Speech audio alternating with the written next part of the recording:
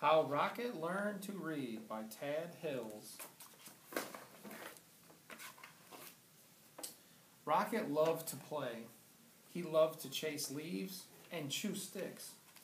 He loved to listen to the birds sing.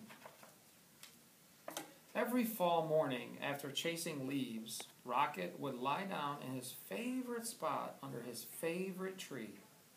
There, he'd sniff the neighborhood smells and settle in for a good nap. But one day, a little yellow bird startled Rocket. Aha! My first student. Wonderful, she sang. Rocket was confused. Student? I'm not a. But if I am your teacher, the bird interrupted, then you must be my student. Rocket found it hard to argue with this bird. I am so glad you saw my sign, the bird chirped. Oh, yes, I can see it, Rocket said, but I don't know how to read. Can't read? Fantastic, she waved a wing. Welcome to my classroom. But I just came here to nap, Rocket said. No, no, there will be no napping in class, declared the bird, except, of course, during nap time. Well, then, I can take a nap over here, said Rocket. I've had a very busy morning. Not to worry, I'll be around every day, chirped the bird, until the weather turns. As Rocket breathed in the crisp air, the little yellow bird hung her banner. Ah, the wondrous, mighty, gorgeous alphabet, she marveled, where it all begins. Opening up a book, the bird began to read. She sang out the story of an unlucky dog named Buster who'd lost his favorite bone. A cool breeze carried her lively voice across the yard. At first, Rocket was disturbed. But before long, he found himself captivated. To Rocket, the story was as delicious as the earthy smells of fall. It was as exciting as chasing leaves. He closed his eyes and listened to every word.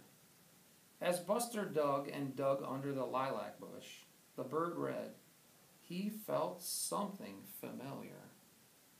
Rocket waited. Was it the bone? He wondered. Silence. Was it the bone? He called to the bird. More silence. Was it the bone? Rocket hollered. Suddenly he was rushing to the tree. Well, was it? But the bird, but the little yellow bird was gone. The next morning, Rocket arrived early. At last, the little yellow bird appeared. Hello, how wonderful to see you in class, she chirped. I can tell by your waggy tail that you are well rested. I'd like to hear the end of the story, please, said Rocket. That seems like a fine way to start the day, chirped the bird. She gave Rocket a name tag and began to read. The word of the day, dog. Every day, Rocket returned to the little yellow bird's classroom. In the morning, the bird taught him a new letter until he had learned all of the wondrous, mighty, gorgeous alphabet. Together they sang out the sounds that each letter makes and spelled the sounds they heard around them. With a G and many R's, they spelled Mr. Barker's growl. Grrr.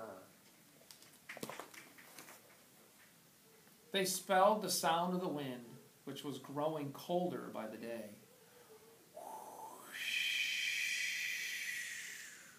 Soon they were spelling words like fall for the gusty time of the year and red for the color of the leaves.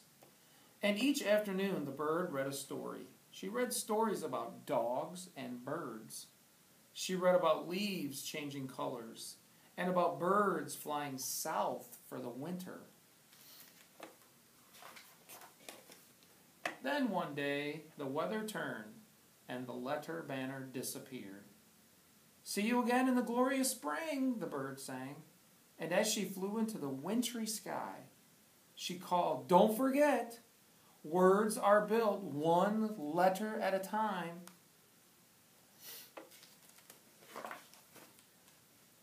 The days grew shorter, and the leaves fell from the trees.